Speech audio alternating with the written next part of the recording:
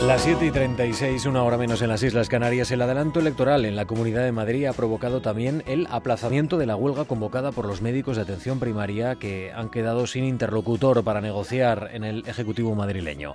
En lugar de ese paro indefinido, AMITS va a movilizarse este mediodía en Madrid para mantener su protesta y sus reivindicaciones. Alicia Martínez, médico de familia, es delegada de AMITS en atención primaria. ¿Qué tal está? Muy buenos días. Hola, buenos días. ¿Se había producido algún avance antes de esa convocatoria electoral o antes del anuncio de la convocatoria electoral?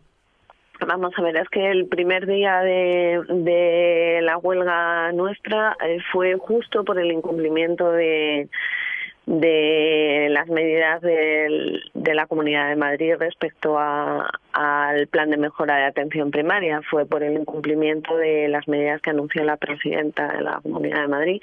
Entonces fue el mismo día cuando eh, nosotros nos concentramos 19 personas delante del Ministerio de, de delante, perdón, de la Consejería de Hacienda y Luego después, una hora después o algo así, fue cuando fue el aviso de la de la disolución de la asamblea y la convocatoria de elecciones, o sea que no ha habido ninguna mejora y no solo eso, sino que ha habido un incumplimiento absoluto de, las medidas que se pactaron en la huelga de septiembre que se desconvocó por llegar a un acuerdo con la, mm. con la comunidad. Y ahora entran en un impasse, entiendo, porque hasta que, bueno, voten, primero la campaña electoral, después la formación de un gobierno, eh, ya veremos qué dandos o, o, qué sumas son posibles para la formación de un gobierno más o menos rápido de la Comunidad de Madrid. Entramos en un periodo de impasse a partir de ahora.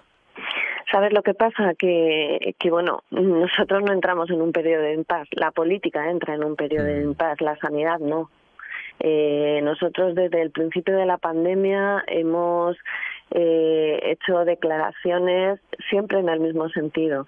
Eh, nuestro sindicato es un sindicato profesional, no tiene color, no tiene color político. Eh, les hemos pedido a los políticos que se pongan detrás de nosotros, detrás de los sanitarios, detrás de los ciudadanos de Madrid para para poder sacar esto adelante. Los centros de salud eh, están en una situación insostenible ya. La presión asistencial es absolutamente desbordante. Nos vemos atendiendo 70, 80 pacientes al día por turno. Mm, hay bajas de médicos, hay más de 800 plazas mm, sin cubrir, hay luego otras 800 o 700 que son eh, plazas que serían necesarias y que, que son vacantes estructurales que, que bueno que no se llevan a cabo. Entonces lo que necesita Madrid lo que necesitan los profesionales médicos y facultativos de la Comunidad de Madrid toda la atención primaria y los ciudadanos de Madrid es un plan para la mejora de la atención primaria, gobierne quien gobierne. A nosotros no nos importa el plan político, no nos importan los intereses particulares de unos y de otros, nos importa la situación sanitaria de Madrid, nos importa esto eh, a un nivel que, que no os podéis imaginar. Hemos perdido muchos compañeros, siguen muriendo eh, sanitarios en, en España al principio nos faltaban muchos medios, nos faltaban eh, pues mucha protección, medios de protección. Seguimos reclamando para que esto sea considerado una enfermedad profesional.